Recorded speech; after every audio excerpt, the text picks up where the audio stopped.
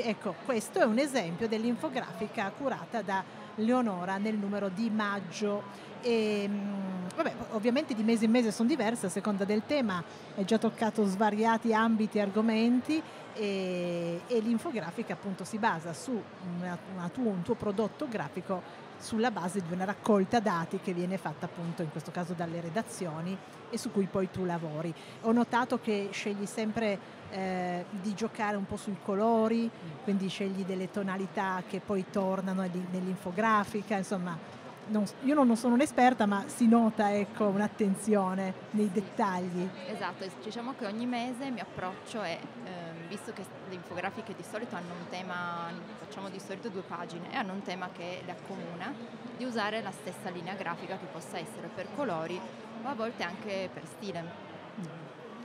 Ma veniamo all'altro mondo di Leonora, l'illustrazione. Il mondo dell'illustrazione. Tu hai scritto già diversi libri, scritto e illustrato diversi libri e in particolare quello che, che, mi è rimasto molto impresso è quello che hai curato con eh, Emanuela Duran e tu hai fatto la parte appunto di illustrazione grafica, lei ha fatto la parte di, di scrittura dei testi perché appunto si tratta di, di, una serie di libri che trattano il tema del, della biodiversità, quindi dei vari animali, vari, vari ecosistemi e, e c'è una cosa in particolare che mi ha molto incuriosita, questo rendere belli anche animali poco belli, cioè c'era un libro in particolare che mi è piaciuto tantissimo e lì forse si vede anche il tocco artistico, cioè non è una questione solamente scientifica di rappresentare gli animali così come sono, ma anche di rappresentare forse qualcosa che hanno dentro, non lo so. Io mi ricordo questa immagine della lumaca di mare che quando non è vista... proprio l'animale d'affezione no, per eccellenza. Però quando l'ho vista, se la vedi anche tu, l'illustrazione, la vuoi, ne vuoi una? Ne voglio una assolutamente. e così tu hai coniugato un po' questi, queste due anime dell'illustrazione.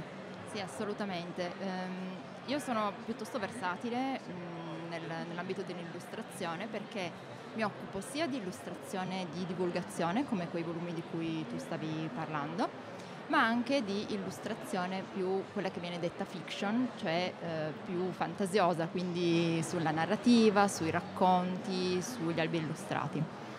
E, però questa cosa ogni tanto mi permette anche di metterci un pochino di un mondo nell'altro e come ad esempio in questo caso sì, era un, è una serie di, di libri eh, di tipo divulgativo, mh, mm, si chiama Gli Atlanti della biodiversità e però in tutti questi volumi ho cercato comunque di dare un minimo di caratterizzazione a questi animali, anche se comunque la rappresentazione rimane scientifica.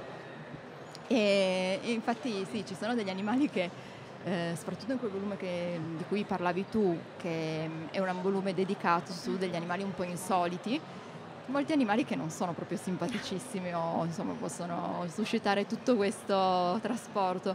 E noi abbiamo, li abbiamo scelti invece proprio per quello, per far capire che eh, ogni animale all'interno del suo ecosistema ha un, uno spazio che ricopre, un'importanza che ricopre ed è strettamente legato a tutti gli altri animali che convivono con lui. E quindi da qui la scelta ad esempio di, della lumaca di mare, che in realtà i nudi branchi sono dei, degli animaletti veramente adorabili, andatevi a cercare delle foto perché ci sono una varietà di colori meravigliose in queste lumachine di mare e, oppure anche, insomma, dei, anche dei serpenti che magari non sono proprio mm, amati da tutti. E quindi abbiamo sì, scelto di, di, rappresentare diversi animali in diversi ecosistemi ehm, e uno di questi libri eh, ha anche ricevuto una menzione d'onore dal premio di Lega Ambiente, quindi Bello. è stato veramente un grandissimo successo. Bellissimo, bellissimo. Tu hai lavorato anche nell'ambito scolastico, lavori nell'ambito scolastico, quindi cari ragazzi, cari ragazzi, genitori, ogni tanto può essere che trovate, senza saperlo, se non andando a leggere la parte finale del libro, però nelle illustrazioni che accompagnano ormai i libri scolastici, che sono molto eh, ricchi di, di, disegni rispetto magari a qualche decennio fa, però ci sono anche delle illustrazioni di... Eh, di Leonora, con quali case editrici insomma, lavori?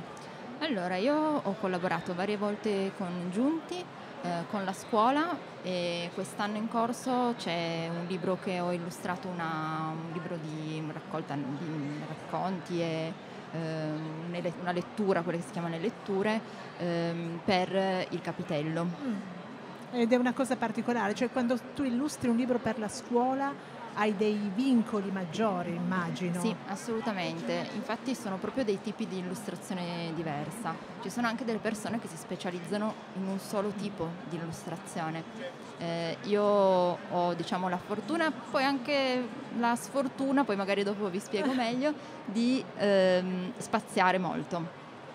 E, però sì, ogni tipo di illustrazione ha un determinato eh, canone da, da seguire quello dei libri di scuola mh, mm, è eh, comunque vincolato a rappresentare in modo molto preciso quello che dice il testo. Quindi non ci si può permettere troppa diciamo, fantasia, troppe metafore, perché questo è il tipo di linguaggio che viene richiesto. Però io trovo anche molto interessante spaziare tra questi diversi tipi di, mm. di illustrazione che si può fare. E la sfortuna qual è? Che ogni tanto sei allora, confusa. La, no, no, quello no, io ce l'ho molto chiaro, ma la sfortuna, parlando appunto del lato professionale, è far capire ai possibili editori cosa fai. Ah, ok. cioè, la promozione. Io, esatto, nel senso che io ho dei portfolio infatti separati, divisi per tipologia, proprio per rendere chiaro questo però è più difficile magari far affermarsi perché è un po' più difficile far notare, ecco questa è l'illustratrice che fa questa determinata cosa precisa, chiamiamola perché mi ricordo di lei. Io facendo cose un po' diverse perché poi io sono una persona un po' iperattiva e mi annoio molto facilmente, quindi a me piace molto fare cose diverse. Però appunto c'è questa piccola difficoltà, diciamo che da una parte per me è molto interessante farlo, è un po' difficile dal punto di vista della promozione. C'è un libro, Sara, accanto a Leonora. Sì, vedo anche che è scritto in francese, in francese. molto colorato e c'è un galletto e una rana. Sono bellissimi. Di cosa si tratta? Allora, io ho visto che eh, in realtà tutti i libri che devono uscire in Italia appunto devono ancora uscire, quindi non posso farveli vedere, però ne usciranno diversi nei prossimi mesi. Vi ho portato uno che è uscito recentemente in Francia, che eh, questo volume ehm, ed è una, anche questo un, in realtà un libro che è un po' un misto tra i vari tipi di illustrazioni che faccio, nel senso che è la storia di questi tre personaggi che vanno in giro per tutte le regioni della Francia e in ogni regione esplorano tutte le, le cose interessanti che si possono trovare. Quindi ha, un, ha è di fantasia perché poi i, i personaggini sono una bambina, una ranocchia e un galletto però poi ha anche un intento effettivamente un po' divulgativo. Ah, faccio Carnac nella Bretagna, cioè sì, viaggiano. Viaggiano, mm. questi personaggini viaggiano e in ogni regione scoprono un po' di, di, storia, di francese. storia francese. Sì, sono beh, il galletto poi insomma simbolo, no? simbolo della Fra- uno dei simboli eh sì, della Francia. Eh sì. Esattamente, infatti sì, la non è lì a caso forse. La il galletto e poi la bambina che è vestita come una Marianne. Ah, è vero, è vero. E come è arrivata questa collaborazione con una casa editrice francese? Allora, ehm, qui ci addentriamo un po' nei, proprio nei meandri della professione, no? Se non è troppo complicato. Eh? No, no, no, no non, è, non, è, un segreto, ma mh, mm, praticamente eh, quello che io faccio e che fanno anche i miei colleghi è quello di contattare le case editrici mm-hmm. mh, che vedono affini al proprio portfolio. Okay. Quindi è andata così. Io ho inviato il portfolio a questa casa editrice poi per un po' di tempo in realtà non, non c'è stato un seguito, no? però poi hanno trovato un progetto adatto a me e quindi ho iniziato a lavorarci e adesso ne sto portando avanti un altro, sempre con questa casa editrice che si chiama Circonflex eh, Rue des Enfants e, e, uscirà quindi poi prossimamente anche un altro, un altro volume con, con loro. Sara, hai delle curiosità?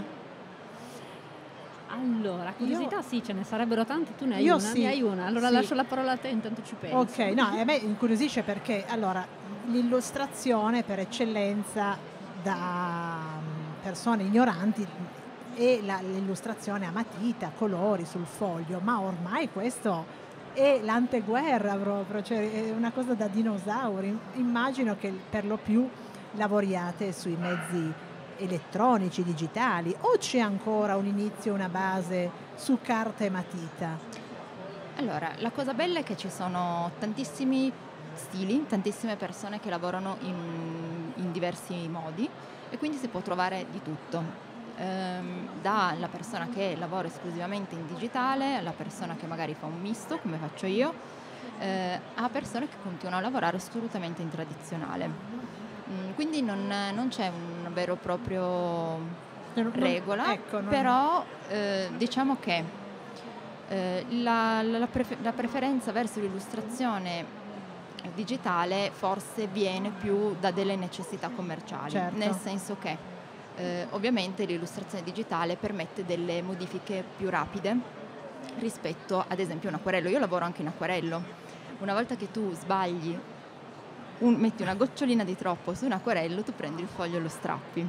Mentre invece ovviamente con l'illustrazione digitale questo ti permette di fare invece delle modifiche e, ehm, ed è principalmente questo in realtà mm. il motivo che porta magari tanti illustratori, quindi per necessità anche legate al tipo di progetto, a scegliere l'illustrazione eh, digitale. Io quello che faccio è creare un mix, nel senso che la maggior parte del lavoro viene fatto in eh, digitale, ma poi usando e integrando anche delle texture preparate ad esempio ad acquerello o degli, degli elementi mh, mm, scans- scansionati, scansionati e ridisegnati poi integrati nell'illustrazione digitale. Dai, Però c'è spazio lavoro... ancora anche per il tradizionale volendo. Sì, sì ma io comunque mm. infatti eh, faccio anche acquerelli ehm, che magari invece uso per poi fare delle stampe, per mm, esempio. Certo, certo.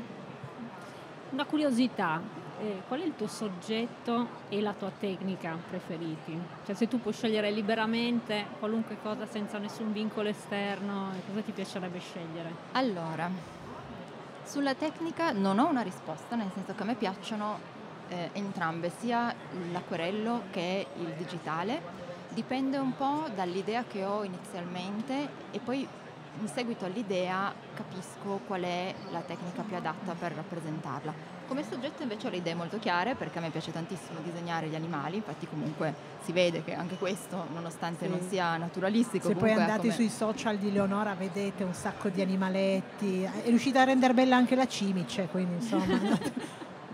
proprio il suo amore questo. Sì, poi in realtà ha un debole proprio per gli animaletti più schifosetti, okay. perché comunque... La sfida. Cioè, sì, no, perché comunque lo, anche loro hanno una dignità e quindi la mia sfida è dargliela.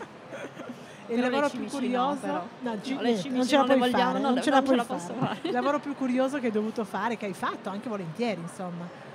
Allora, sì, eh, in realtà sì, ce l'ho, ce l'ho il lavoro più curioso. Mi è capitato ehm, di fare del, un, del, per un, un, privato, quindi una persona che mi ha, mi ha richiesto un'illustrazione, eh, un, diciamo, un tableau de mariage con degli sposi ed era molto spiritosa, diciamo, l'immagine che mi hanno chiesto, però non, non posso rivelare, okay. però era molto spiritosa. Pose, di forse. Ah, maliziosa. Ma al limite. Al limite, ma no, insomma, anche il tableau de mariage. Ma non soggetto animalesco, cioè era, era no, perché no, ci sono anche quelli che si ritraggono come maialini, come rospetti, quello era realistico. ok, allora, dove possiamo seguirti Leonora? Dove possono seguirti i nostri ascoltatori e le nostre ascoltatrici? O se qualcuno volesse chiederti appunto qualche eh, disegno, qualche prestazione grafica? Illustrata? Allora, mi potete trovare, in realtà ho il sito internet che è Leonora, senza lei davanti, quindi leonoracamusso.it oppure sui social come Leonora Camusso. Benissimo, grazie per essere stata con noi, buon lavoro, in bocca al lupo per tutte le tue attività. Grazie a voi, ciao, grazie mille. Grazie mille. E rieccoci di nuovo in onda dal Salone del Libro di Torino. Eh, Sara Turn insieme a Daniela Grilla a condurre questa puntata specialissima, direi, non solo speciale, sì, sì, di sì. Voce delle Chiese, oggi dedicata tutta al tema dell'illustrazione. Ovviamente un tema che qua al Salone la fa da padrone e quindi abbiamo deciso di dedicare tutta questa puntata a una serie di illustratori e illustratrici. Abbiamo appena congedato Leonora Camusso che però è ancora qua con noi, quindi ci fa molto molto piacere e abbiamo in lista d'attesa il nostro secondo ospite, anche egli molto conosciuto dai nostri ascoltatori e ascoltatrici che è niente meno che Francesco Piobuchi. Buongiorno, Ciao buongiorno Francesco. Benvenuto. Ciao Francesco, benvenuto, Grazie. benvenuto, bentornato. Ci, insomma, noi ci siamo già sentiti al telefono, con, su Riforma appaiono delle notizie, degli articoli che riguardano i tuoi lavori. Tu sei un disegnatore sociale, ami, sì. ami definirti in questo modo. Cosa significa per te? Eh, significa legare il, il disegno alla, alla pratica sociale e quindi eh, costruire un, um, un, racconto che mm, in qualche modo mette la, la, dimensione artistica a servizio del racconto senza estrarla. E, ehm, e, questo secondo me è un punto importante che abbiamo maturato in frontiera eh, lavorando sul tema diciamo, della memoria ma anche sul tema della denuncia, sul tema del recupero delle storie. L'abbiamo fatto eh, lo stiamo facendo a Lampedusa, ehm, l'abbiamo fatto rimettendo a posto ad esempio le lapidi del cimitero di Lampedusa eh, con dei simboli che in qualche modo ridanno dignità e senza nome e lo stiamo facendo adesso con, eh, con questo libro che sostiene D'Ambesò, questo ostello di, mh, per lavoratori braccianti che appunto fuori dal buio, fuori dal ghetto e questo libro finanzia l'ostello perché questa è un'altra cosa importante, lo abbiamo fatto con Cronache Ribelli che è una eh, casa editrice eh, indipendente che sta fuori i canali della grande distribuzione e ci permette di, eh, di, dire un po' di cose che altrimenti rimanevano un po' sempre sotto traccia. No? Mm. E, e questo, diciamo, per questo mi definisco disegnatore sociale, cioè il disegno al servizio del racconto e della pratica sociale, collegato ad esso. Ma tu nasci come disegnatore o come operatore sociale? Tra l'altro operatore sociale in questo caso è MH, Mediterranean Hope, il programma rifugiati e migranti delle federazioni chiese evangeliche. Io inizio a disegnare in curva nord del Perugia, da okay. Ultras, quindi ho tutta una storia particolare. Poi arrivo a fare anche l'operatore sociale però il disegno non ho mai fatto una scuola artistica, okay. fatto, mio padre mi ha mandato al professionale da piccolo, quindi... No, cioè è un tuo dono. È un no, dono. più che un dono eh è... Beh, sì, cioè, ognuno di noi ha, ha, dei doni, il tuo dono è quello de, del saper disegnare, perché insomma disegni del genere, li facciamo anche vedere a chi ci sta guardando in video sul canale 87 o sullo streaming rbe.it, eh, sono, sì. sono, un dono, ecco, non è facile. Tu hai, queste tavole sono bianco su nero, sì. ma hai fatto anche tantissimi disegni molto colorati che rappresentano il dramma dei flussi migratori. Diciamo, ho cercato di, di, di raccontare una cornice diversa, perché la cornice di, di della piana di Gioia Tauro, il, il, buio che io racconto lì non è fatto da assenza di luce, ma è un po' come se la frontiera impedisse alla luce di passare.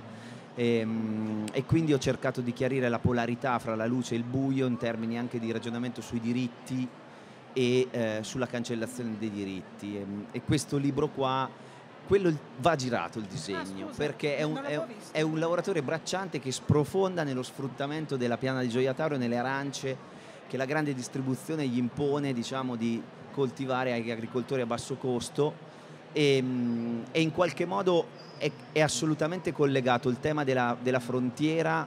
Eh, questo libro inizia con il mare spinato, no? questo mare che io ripropongo spesso anche negli altri disegni colorati, però il mare che degrada i diritti dei vivi, li maledice perché la frontiera gli rimane poi, poi addosso per tutta la vita e però cancella anche la dimensione della memoria dei morti e quindi è come se la, degrada- la disumanizzazione della frontiera fosse il primo punto sul quale intervenire perché poi bisognerà la- lavorare anche sul tema dei diritti. Sara.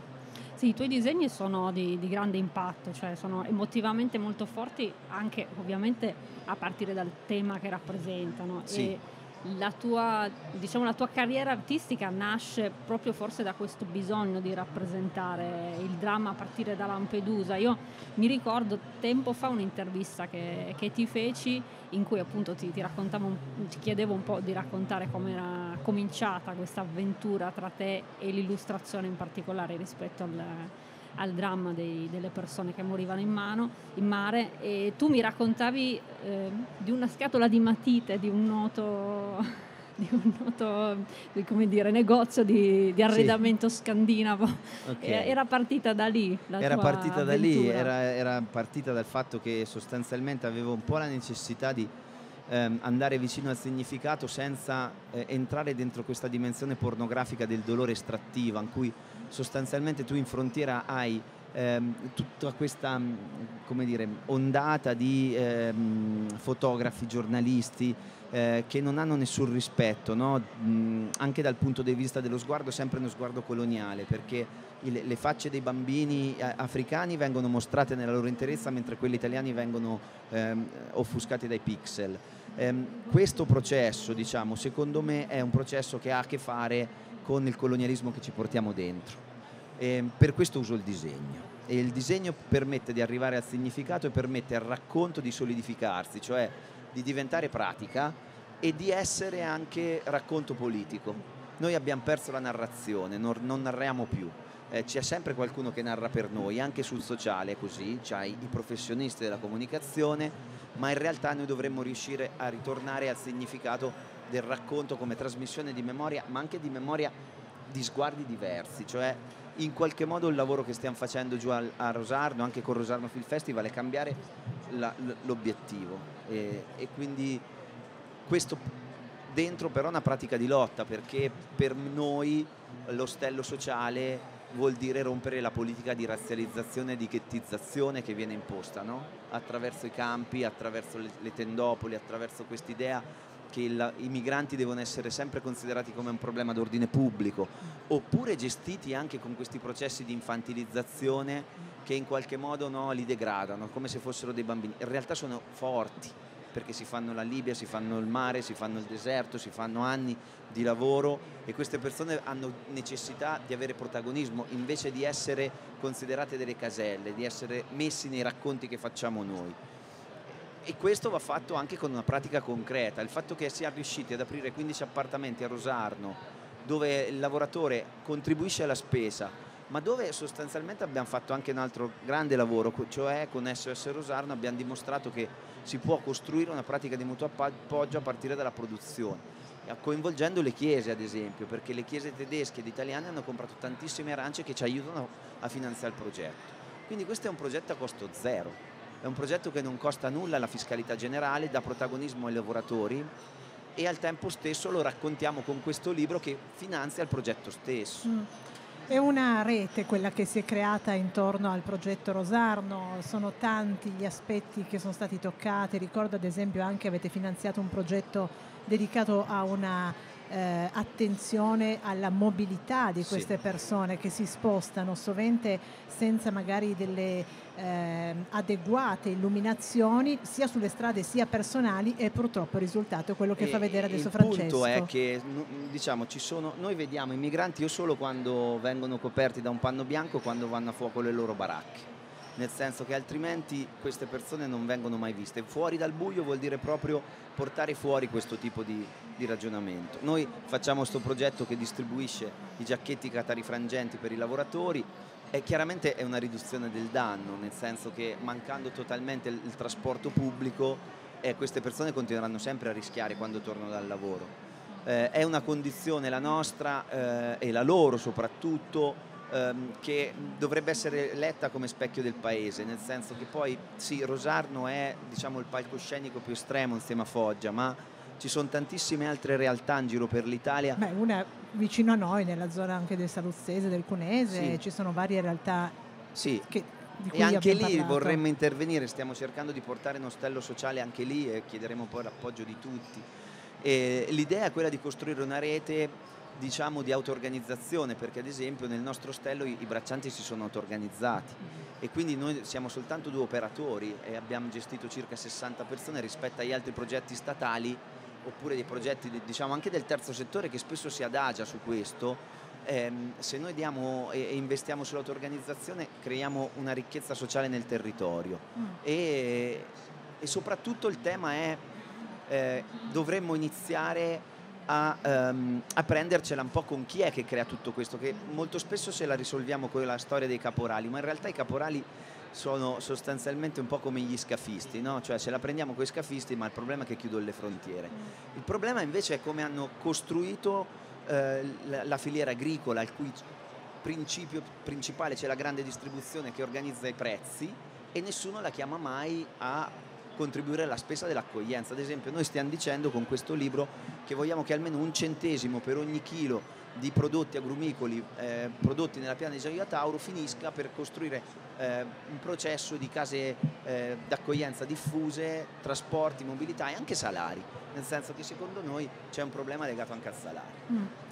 Eh, rimanendo sullo stello d'Ambessò, eh, non è solo struttura di accoglienza dove le persone possono sì. trovare un luogo dove dormire dignitosamente, riposare dopo le ore di fatica e di lavoro, ma è anche un luogo dove chi vuole eh, può soggiornare sì. e partecipare a questo progetto. È questo il punto, riuscire anche a costruire dei luoghi che non funzionano solo dentro la categoria del migrante, ma dentro la dimensione della mobilità dei lavoratori, ma anche de- delle persone che vogliono venire lì per fare a, a basso costo magari una eh, presenza eh, di vacanza oppure studiare, quindi ci vengono moltissimi ricercatori che altrimenti non avrebbero possibilità di essere ospitati, noi li ospitiamo e questo produce sapere. Mm, mettiamo, proviamo a ribaltare un po' la logica del sapere, siamo noi che produciamo sapere e utilizzando i, i meccanismi di, che, che ci vengono ad esempio dati dall'università per costruire su questo un elemento di corricerca, cioè dare protagonismo attraverso l'inchiesta ai lavoratori per cambiare le cose. Sara? Hai qualche... Sì, no, moltissimi, moltissimi stimoli. Eh, nella tua attività di, di, operatore sociale, che ovviamente si interseca con quella di, di illustratore, immagino che tu abbia incontrato tantissime storie ehm, anche molto brutte, ma anche con degli aspetti di, di bellezza magari inaspettati.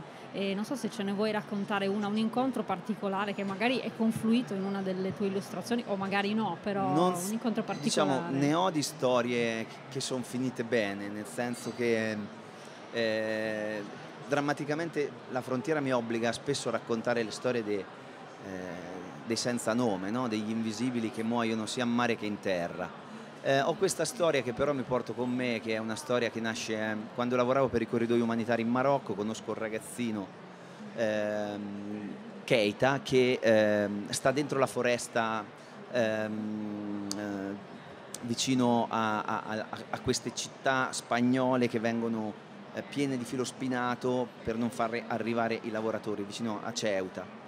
Lo conosco perché lì lui prova a fare il salto e, e poi perdo le, le, le sue tracce. tracce e me lo ritrovo qualche mese dopo in uno sbarco a Lampedusa.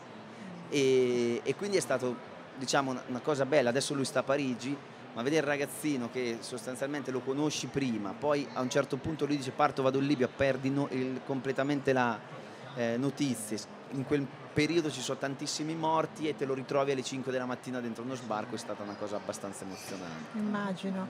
E in generale, come collego un po' quello che ti chiedeva Sara, come nascono i tuoi disegni? Cioè tu senti delle storie e le rappresenti o per la maggior parte dei casi invece sono slegate da, da, da episodi vissuti? Diciamo, ho molto spesso, le, la necess- molto spesso, la necessità di raccontare le storie, quindi il disegno a disposizione della storia. A volte io ho un po' la mente fotografica, nel senso che ci sono delle immagini che mi colpiscono e poi le disegno, e ci sono dei periodi in cui disegno tantissimo e poi a un certo punto anche per casualità, come è successo su sto libro, questi disegni vengono un po' montati, nel senso che hai tanti disegni e nasce la storia attraverso i disegni che tu hai fatto a fine diciamo, di quel periodo. E questo era un periodo molto buio dal punto di vista del lavoro perché lavoravamo di notte, andavamo nei casolari dove c'erano i migranti, quindi ci portiamo dentro questo sfondo. Se a Lampedusa il contrasto era la bellezza dei colori con quello che succede in mare, qui il buio rappresenta proprio la, la cornice di fondo del fatto che Lampedusa toglie i colori ai, ai migranti. No. e quando arrivano arrivano in, un, in, una cornice che non hanno più colore perché sono invisibili e quindi diventano ombre. E quindi disegnare sull'ombra il bianco vuol dire disegn- cercare di raccontare quella verità che come dire ti porta proprio all'essenza. Quindi hanno un po' una profondità questi disegni qua. Sì. Senti, io sfogliando il libro, a me ha colpito questa immagine qua, io non so se sia vera o no, a me ricorda però una scena di un famosissimo film, è così oppure non è non, questa qua? A me ha ricordato E.T., il momento in cui nel film E.T. prendono il volo sulle no. biciclette i ragazzini in vista della libertà di questo in, extraterrestre. In realtà questa, questo disegno rappresenta eh, il porto di Gioia Tauro, eh, e le, la baraccopoli di San Ferdinando che è a pochi chilometri, è a circa due chilometri da, dal porto. E questo filo spinato è il filo spinato dove i lavoratori in bicicletta si muovono nella piana, come se fosse un, un, un, nella precarietà più assoluta. Un bilico in realtà. Brava, ah. rischi sempre di cadere sotto, anche ah, perché appunto... Ci avevo dato un'altra interpretazione. Eh, eh, come dire, devono sempre eh, giustificare la loro presenza, no? quindi devono rinnovare il permesso di soggiorno col contratto di lavoro, serve, gli serve la casa, quindi la residenza, l'ospitalità e, e sono sempre sotto ricatto. La cosa che sostanzialmente a me manda fuori di testa è quando tu senti piantedosi o, eh, ma anche i politici di centrosinistra che dicono ci servono oppure sono car- carichi residuali. Eh, queste persone hanno la necessità di avere ste- lo stesso diritto alla mobilità che abbiamo noi occidentali. Finché la mobilità sarà soltanto per alcuni un privilegio, avremo anche sfruttamento nelle nostre terre, perché queste persone arriveranno qua per cercare una vita migliore, però degradate. Mm. E invece il tema è riprendere la, la, la questione della mobilità come una questione anche da legare al tema del contratto di lavoro, del salario minimo, dell'accoglienza, cioè ricostruire un'idea generale del tema della mobilità che riguarda un po' tutti. Beh, ieri mattina parlavamo di un altro progetto grafico eh, legato a MH e legato ai bambini. Abbiamo presentato il libro No Border Books, il libro sì. per, eh, che è stato pensato proprio e, e, e dicevano gli ospiti, c'era eh, Maddalena della biblioteca Ibbi di, sì. di, Lampedusa insieme a Giovanni D'Ambrosio e ci dicevano è, è un modo per ridare dignità ai bambini questo libro perché nessuno poi appunto li considera in quel momento, loro sono dei piccolini invece la priorità è la priorità sanitaria, la priorità legale, la priorità burocratica e non c'è la priorità delle emozioni dei bambini. In realtà questo libro un po' nasce anche dentro la pratica di quando stiamo al molo perché mi ricordo che eh, iniziai a portare i gessetti sì, lì e i bambini, sì. i bambini, hanno cominciato a, ri, a, ritrovare la loro forma dopo le onde disegnando ad esempio il cerchio con le loro mani del proprio corpo. Mm. Eh, riprendono contatto con la terra, lasciano via dietro la paura dell'onda, la paura de, del viaggio e ricostruiscono un contatto con la terra, con, con la nuova terra, no? E attraverso il segno prendono la forma. Mm. Eh, secondo me è una cosa terapeutica anche e soprattutto però ci dice anche della mancanza da, di attenzione per, queste, per questi sì, soggetti. Sì, no? sì. Ehm, per i bambini ma anche per i lavoratori, ad esempio eh, due mesi fa un lavoratore è stato aggredito mentre tornava dal lavoro, spesso capita su, su Rosarno, è stato aggredito, è stato strattonato, è andato, si è fatto male e poi una volta curato è stato riportato a, a, al laghetto di San Ferdinando. Lui era sotto shock e no, aveva paura di riprendere la bicicletta per andare a lavorare, quindi era piantonato lì dalla sua paura, quindi l'abbiamo in qualche modo con Emergency abbiamo fatto questo progetto con la Casa delle Culture di Scicli, lo abbiamo portato alla Casa delle Culture a Scicli e adesso abbiamo provato a costruire un percorso personalizzato, cioè manca completamente l'attenzione al bisogno. Mm, Queste sì. persone sono considerate sostanzialmente solo braccia e quando le braccia non ci servono più diventano un problema d'ordine pubblico però sono alla base delle cose che mangiamo, dobbiamo sempre cominciare a guardare, facciamo, fatemi questa promessa, quando andate nei centri commerciali, in tutti i centri commerciali, guardate da dove arrivano le arance. Troverete le arance che arrivano dalla Tunisia, che arrivano dal Sudafrica, quelle arance sono fatte di sfruttamento o anche altri prodotti italiani. Cercate di capire sempre che quello che mangiamo ha il sudore, la, la vita di queste persone che sono eh, razzializzate perché devono essere compresse per tenere i, i, i, prezzi competitivi, ma c'è chi fa grandi profitti che è la grande distribuzione organizzata che non paga niente e forse è arrivato il momento di fargli pagare il mal tolto, come diceva il mio nonno. Allora, dobbiamo chiudere Francesco, grazie, grazie per anche questa passione che ci metti nelle, nelle, tue parole. Dove si può trovare questo libro, come si può ordinare, dove si possono informare insomma, gli ascoltatori e le ascoltatrici? Questo libro potete ordinarlo su cronacheribelli.com, c'è il, c'è il sito, eh, Cronache Ribelle è fuori dal meccanismo della grande distribuzione, non lo troverete su Amazon, quindi così come facciamo per le arance, tagliamo la filiera e e oppure mi, mi contattate ve, ve, lo porto io.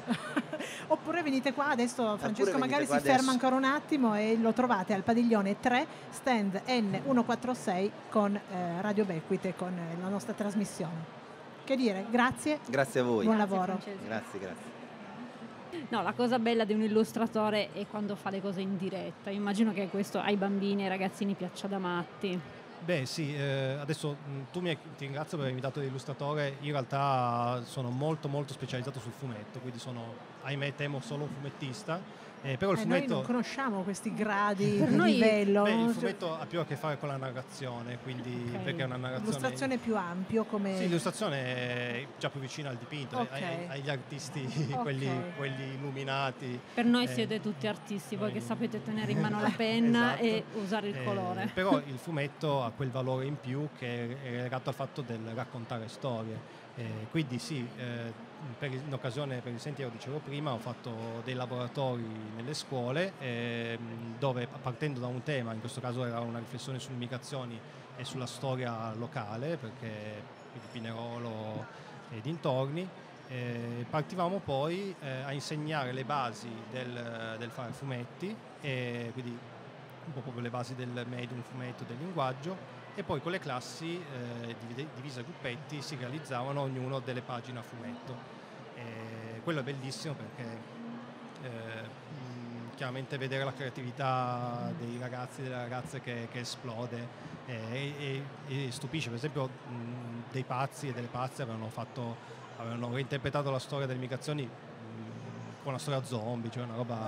Ah, beh, mettono gli zombie un po' ovunque, sì, mi sì, sembra. Una roba super allucinante che però io ho provato un sacco, quindi sì, sì, sono... Tu come, come, disegni? Come nasce un tuo fumetto? Parti dalla punta di matita o parti da eh, temo dalla superficie di una tavoletta grafica perché io lavoro esclusivamente in digitale, okay. eh, pur avendo una conoscenza del, delle... Che percorso scolastico hai fatto, giusto così per sapere? Allora, eh, vabbè, io non nasco, non nasco, figlio d'arte, poi il mio percorso formativo è totalmente non propedeutico, perché ho fatto liceo classico e poi ingegneria. Ok. Eh, però, sì, eh, si immagina l'artisti, cose... Sì, sì, no. no. però eh, siccome gli ingegneri avevi... sono persone bruttissime, io posso dirlo in quanto ingegnere e adesso faccio il fumettista a tempo pieno, quindi sto cercando di, okay, di okay. redimermi. E, e lavori sul digitale, tu E lavoro in digitale perché è una cosa molto richiesta dal, dal mercato, eh, di, dal mercato diceva editoriale. Prima dal mercato editoriale molto richiesta e, e, quindi però bisogna comunque avere una cultura del, del, mater- del materico anche perché eh, chi è privo di questa cultura e si approccia direttamente al digitale si nota perché bisogna sempre ricordarsi che gli strumenti digitali del, simulano delle tecniche eh, preesistenti. Certo. Faccio un esempio veloce sì, per far sì, capire. Sì. Eh, conoscete tutti Stormtrooper di Bombi, sì. no? la celebre striscia. Ecco, Bombi disegnava matita, poi metteva un lucido dove faceva le, i colori tinte piatte, un altro lucido, le ombre e poi la china, il lucido. Questi lucidi sono i livelli di Photoshop, quindi, quindi bisogna avere un po' la cultura di quello che c'è stato prima per poter restituire la stessa sensazione. Certo. Eh, per esempio, beh, i colori del sentiero non li ho fatti io, sono stato aiutato da Rocco Casulli, che è un colorista eh, però invece i colori di Vian Mayer eh, li ho fatti tutti interamente io ed erano comunque sono a colori ad acquerello o a pastello eccetera eccetera quindi io cerco di restituire in digitale ehm, diciamo il disegno materico ecco. eh, però è bello comunque il digitale è effettivamente molto comodo aiuta certo. a velocizzare il lavoro ti permette per di, di, poter ehm, come diceva forse prima anche Leonora, Leonora sì. ehm, ottimizzare anche sì, il tuo esatto. lavoro. Eh. Ed è per questo che cioè, purtroppo per fortuna è molto richiesto nel... Però sogno prima o poi di fare un'opera totalmente tradizionale, adesso però magari più, più avanti. Eh. Vabbè, adesso ci, ci, studiamo qualcosa fuori onda. Sì, sicuramente troviamo qualcosa da farti fare. Penso che la storia sia una cosa che ti attira abbastanza, i profili storici, i ritratti, quindi qualche proposta forse gliela possiamo fare.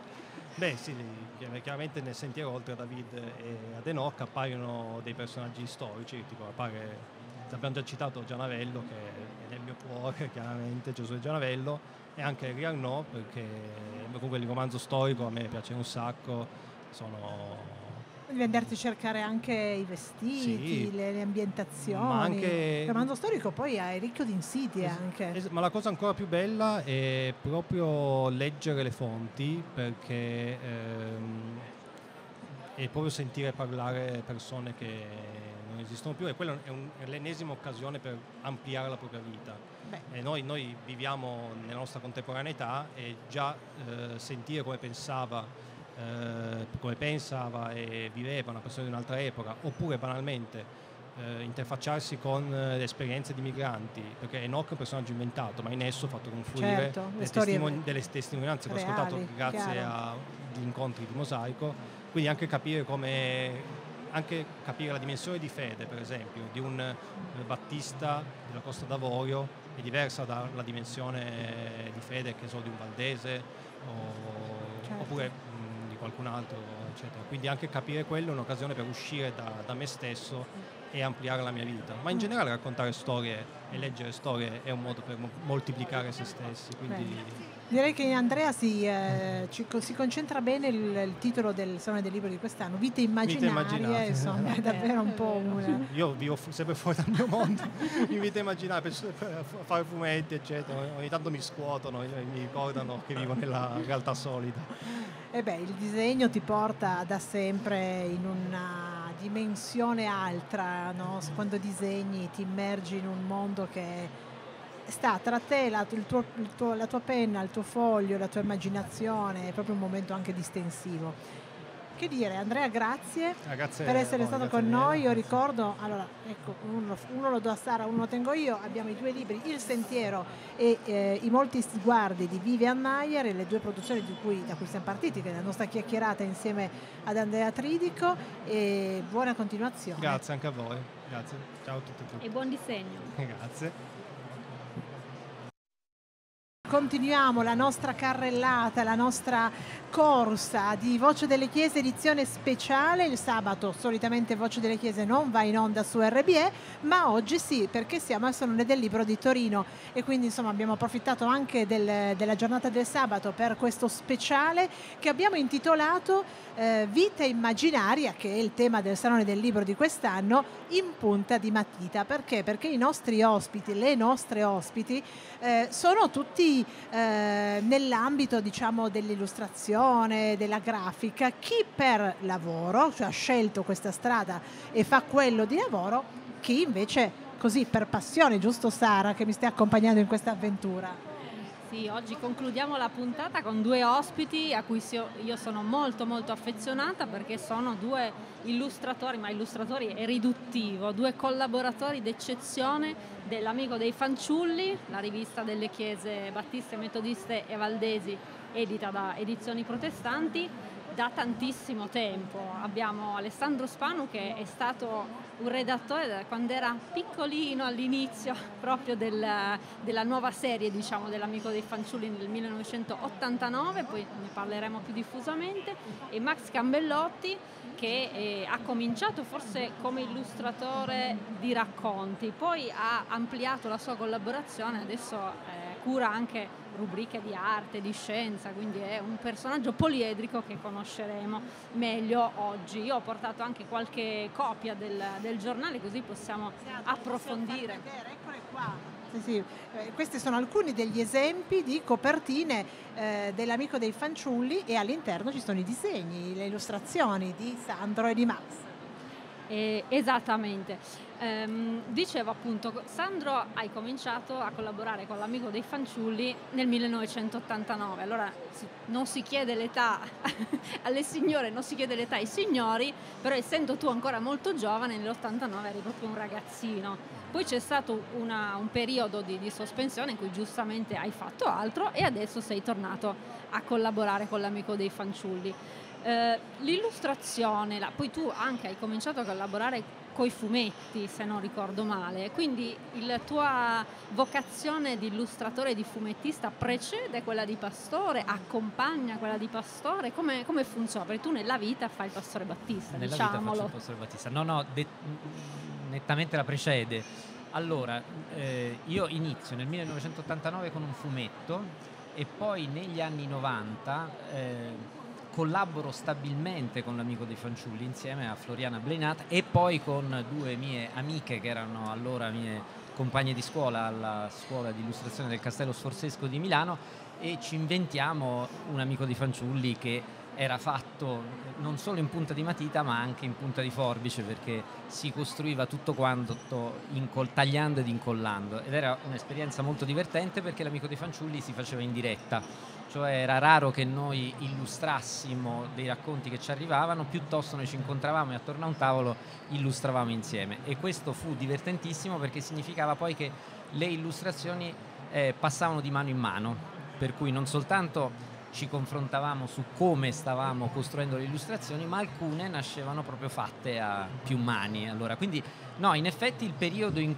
quando io ho collaborato più stabilmente con l'amico dei fanciulli fu proprio all'inizio degli anni 90.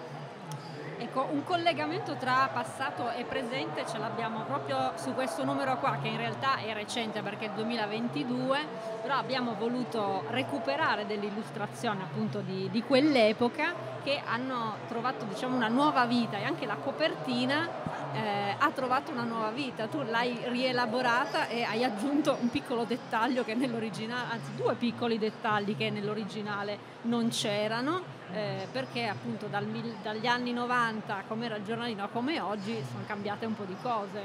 Negli anni 90 eh, aveva un colore solo e quindi si eh, costruiva l'illustrazione e poi si sovrapponeva all'illustrazione il, la carta lucido, qualcuno se la ricorda ancora la carta lucido, e poi si colorava con un pennarello grigio le zone che si volevano in carta lucido. La cosa divertente era che sbagliando imparammo a fare quell'effetto Andy Warlow per cui c'era il tratto e poi il colore era leggermente spostato ed era divertente, era divertente.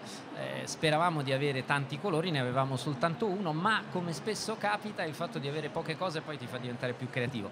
Lì ci sono i colori, tanti colori, peraltro dei colori molto materici e poi sì c'è appunto Giuseppe che da eh, bambino viziato con una tunica tutta colorata, anche se la Bibbia non ci dice che è colorata, ma noi ce la inventiamo così, diventa appunto l'intendente di Faraone, quindi c'è quella novità in più, senza dubbio. Sì.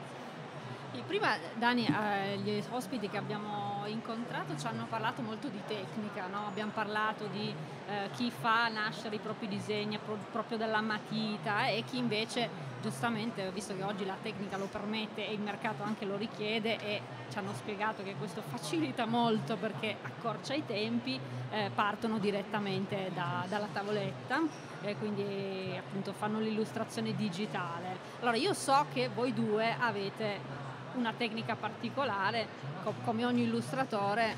No? Max, sì, io no. Ogni... magari, magari prima di, di, passare alla tecnica facciamo presentare anche Max perché abbiamo inquadrato Sandro Pastore, però insomma passione del disegno, collaboratore dell'amico dei fanciulli. Max non fai l'illustratore, il grafico, il disegnatore di mestiere, mi sembra di capire, ma anche te hai una grandissima passione per l'arte eh, sì, è una questione di famiglia. Eh, intanto volevo approfittare di questo momento pubblico per ringraziare pubblicamente Sandro, perché io in realtà la mia collaborazione con l'amico dei fanciulli è eh, l'aver mantenuto una promessa che molti anni fa ho fatto a lui. Mi aveva chiesto, puoi per favore collaborare con noi? Io a quel tempo avevo altre cose da fare, gli ho detto sì, sì, sì, è passato del tempo, ma alla fine poi sono stato molto contento di poter adempiere grazie. a questa promessa che avevo fatto a Sandro. E io ringrazio entrambi perché grazie a questa promessa io ho due ottimi illustratori. Sì, no, in realtà sono, sarei agronomo e di fatto è per quello che tengo la rubrica sulle scienze, eh, tra le altre cose. E, e, poi lavoro per la Claudiana, magazzino, servizi logistici, spedizioni, eccetera. Come nasce la passione per il disegno? È perché un, un tuo dono, immagino. Per, cromosomi, perché entrambi, eh, sia da parte di madre che da parte di padre, la famiglia era composta da pittori o ceramisti, scenografi, eccetera, e io fin da piccolo ho visto dipingere, ho visto disegnare. E, ah, se posso aggiungere, io proble- ho, avuto molti problemi di comunicazione, i limiti dell'autismo.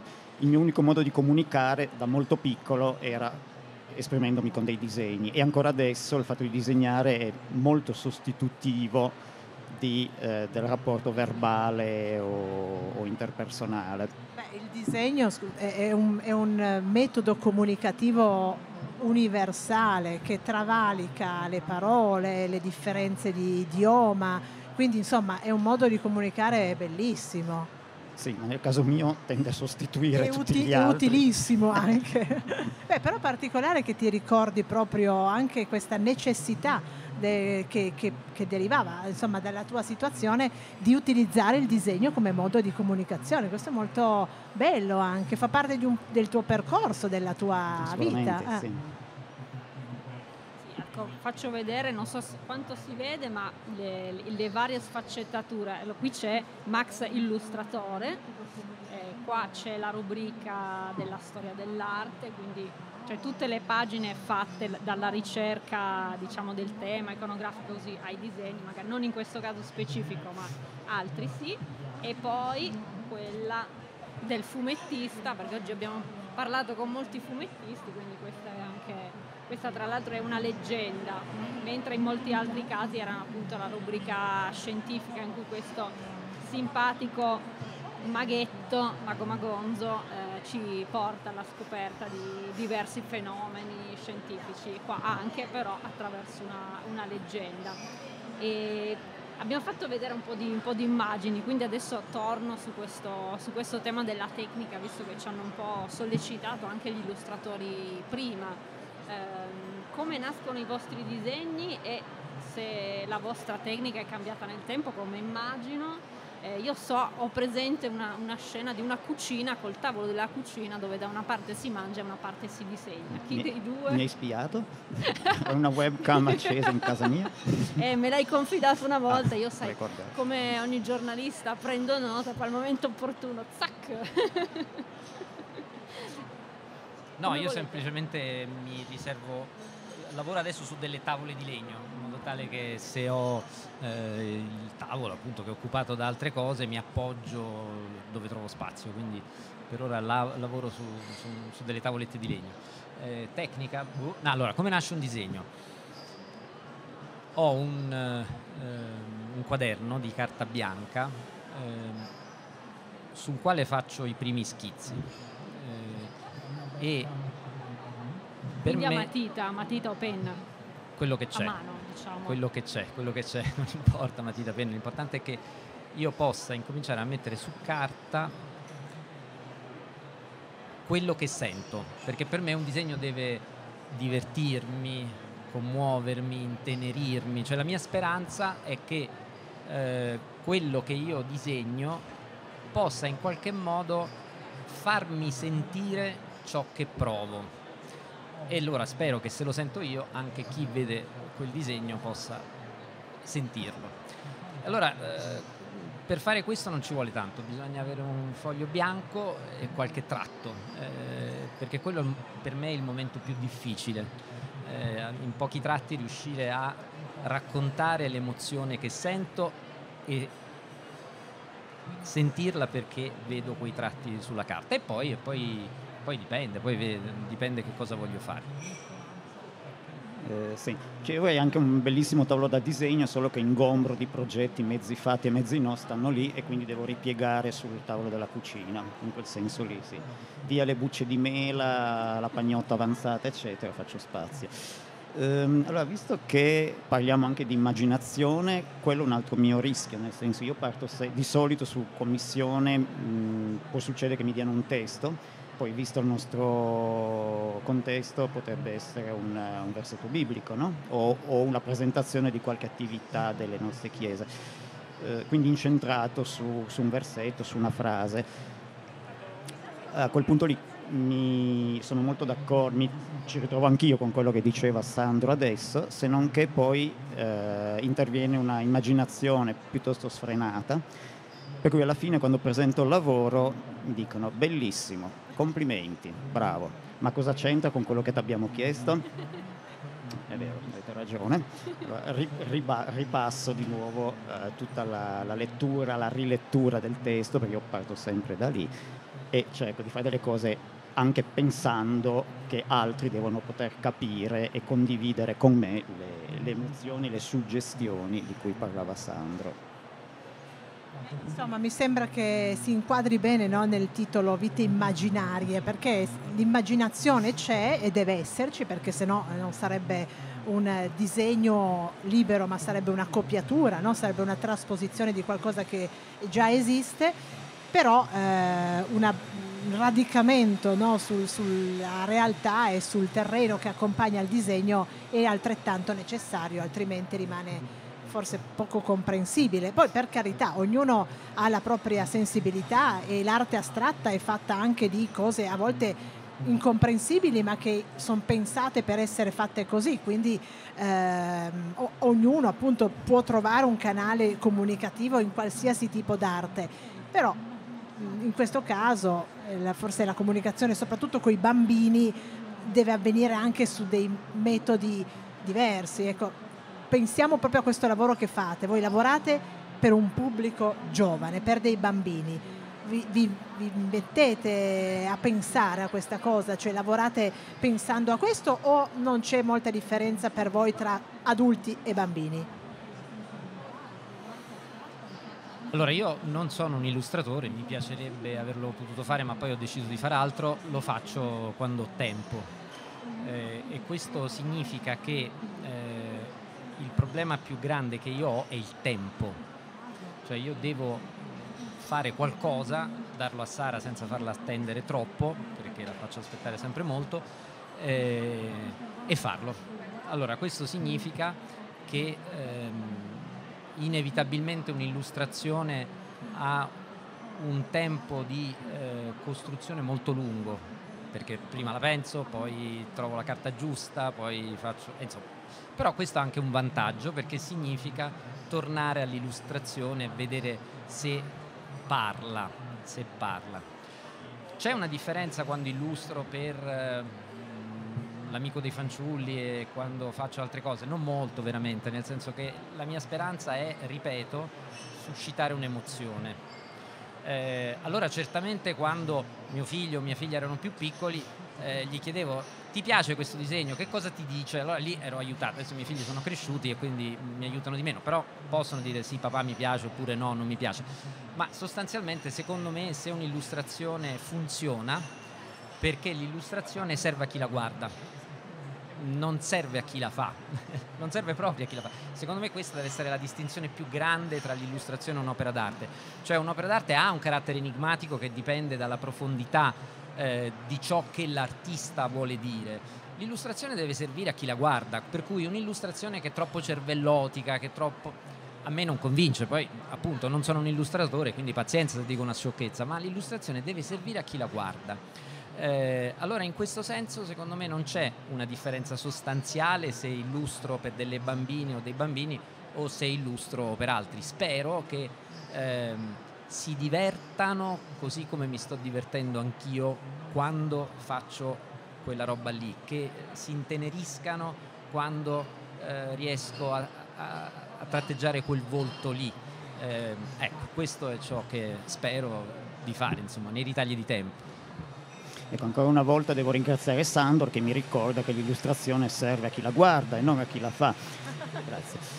Ehm, sì, eh, ho, alla fine sempre, sono sempre arrivato alla conclusione che quando disegno per eh, persone adulte in realtà vado a pescare molto sulla mia immaginazione infantile e penso serva anche a loro.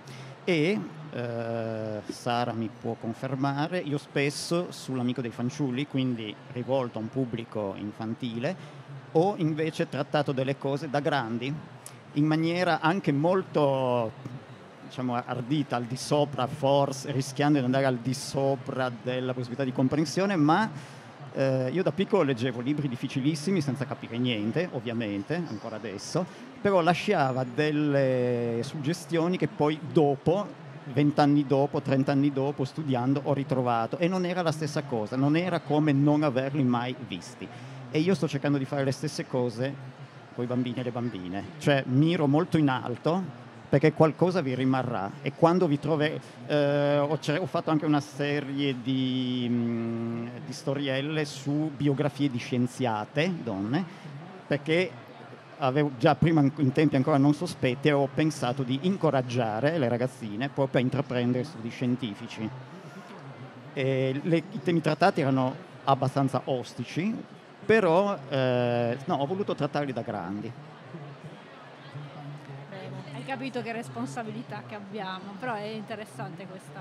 Ricordo che avevamo avuto uno scambio con Max, perché non è l'unico, ci sono diversi contenuti che effettivamente mirano molto in alto e ogni tanto la domanda è ma sti poveri lettori, cioè li, li come dire? Sdraio.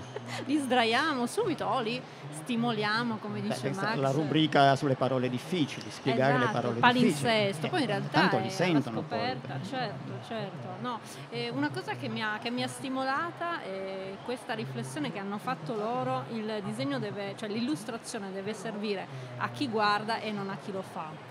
Eh, però io immagino che serva anche a voi, cioè serva in senso ampio, ovviamente non in termini utilitaristici, eh, a disegnare, a illustrare, eh, anche se tra virgolette su commissione, dietro l'autocompenso del, dell'amico che è la, la gloria imperitura.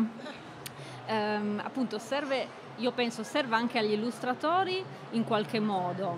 Eh, in quale modo? È una, so, un atto di libertà, è un ritornare bambini, è un uh, uscire fuori dalla quotidianità, o non so, butto lì la, la, la domanda. eh, sì, no, se, no, no, ogni disegno per uh, altri versanti serve anche a me quando disegno e penso che in realtà un po' eh, sia, sia, la cosa comune. Eh, come ho detto prima, spesso mi trovo a dover disegnare sulla base di un testo, sulla comprensione di un testo. Beh, questo testo io devo farlo mio. E se è un testo biblico, in pratica io devo farmi una piccola esegesi e, e sentire come questo testo riverbera dentro di me, nella mia esperienza. E ogni volta che il disegno è finito lo consegno, ma io dentro di me ho avuto, diciamo così, un'esperienza di arricchimento, di maturazione, di scoperta anche. Uno dei miei professori alla scuola d'arte del castello diceva che l'armadio dell'illustratrice, dell'illustratore è pieno di disegni brutti e diceva è importante che voi buttiate, buttate tanto, eh, non abbiate paura di buttare. Allora io non butto più niente perché faccio troppo poco per permettermi di buttare, però poi quando vado a riprendere quello che ho nel mio armadio, perché le nascondo molto bene, trovo alcune cose che francamente non mi piacciono e altri che dico, beh, to, questa è proprio bella, questa funziona. Eh, se posso le cose belle le regalo, non me le tengo poi nei cassetti. Eh, allora sì, mi serve, mi serve perché... Allora, per due ragioni. Intanto perché disegnare è anche un artigianato e quindi io mi accorgo che se io non disegno la mia mano si eh, anchilosa, si dice così? È giusta l'accentazione?